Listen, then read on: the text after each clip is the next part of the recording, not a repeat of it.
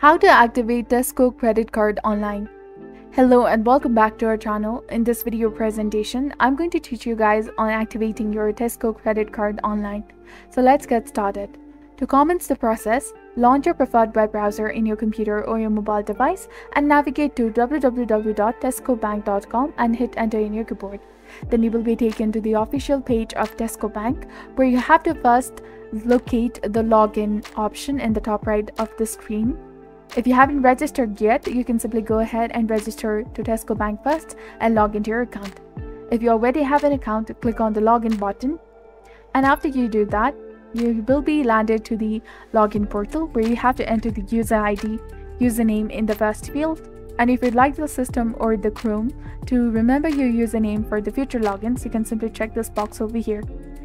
But if you're using a public or a shared computer, do not check this box for the security reasons.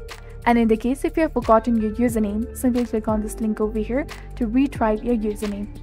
After that, simply go ahead and click on the login option that is highlighted in blue color in order to successfully log into your Tesco Bank first.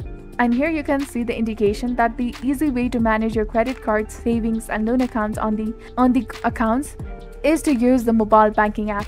Simply go ahead and search for Tesco Bank in the Play Store or the App Store and you will find the mobile banking app of Tesco Bank. Download it and log in.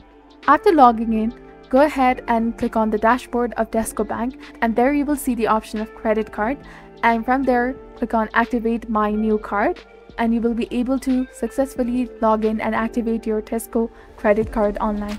So this was all about it. If you found this video helpful, please consider liking and subscribing for more helpful tips and tutorials. And don't forget to hit that bell icon to stay updated with our latest contents. Thank you for your viewership and support. See you in the next one.